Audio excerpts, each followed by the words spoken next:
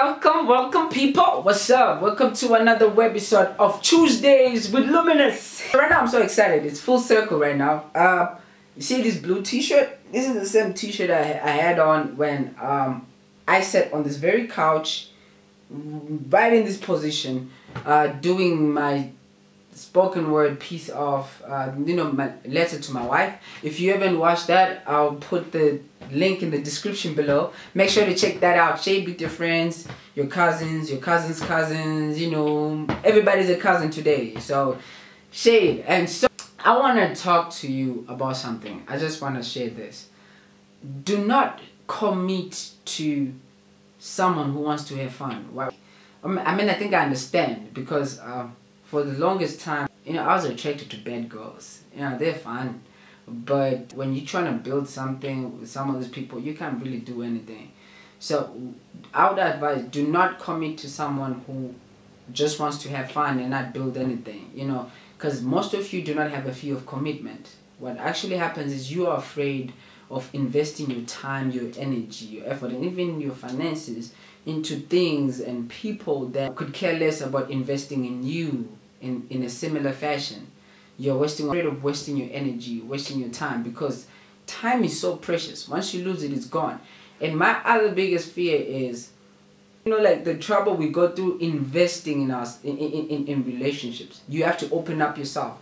Talk about your stories, your how you grew up and whatever it is. And now you did that with somebody who's not gonna build with you then you're gonna have to start over again. Don't you get tired telling the same story? Like I get tired. Um, tell me about your dad. Um, so yeah, he wasn't there.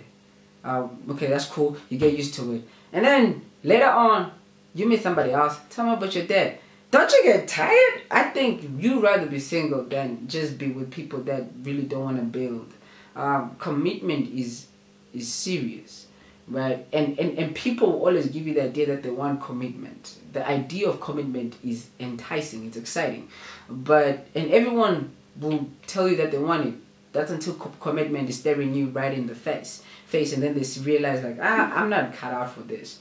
So i would say do not commit to anyone who just wants to have fun when you are trying to build something because that's how you end up dating yourself in relationships Whereas everything about you is speaking of commitment and how you are about that other person and the two of you. They're just acting single. They think single, they talk single, they live single, while at least you are a team player. You know what I mean? One of those soccer players who are just playing by themselves in the soccer field while at least everyone else is playing as a team. For example, Neymar during the World Cup. You know, guard your heart. Do not rush it. Watch how it plays out. Get to know people. Do not skip the stages. See what they really want to do, what their intentions are. Do they want to have fun? Do they want to build? Protect your heart. You know what I mean? So grace and peace. Till the next time, love God, love people, thoroughly hate sin.